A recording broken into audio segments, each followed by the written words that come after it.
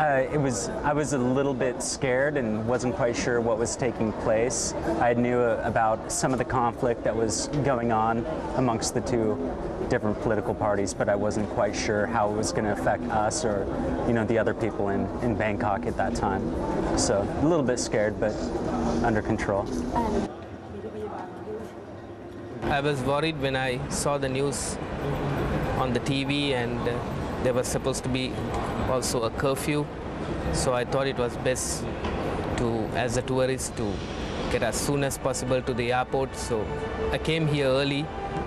and uh, on the way to the airport I saw there was a roadblock, uh, army road checkpoint. So I was worried. So I thought it's just as soon as possible come and stay in the airport and get on my flight as scheduled.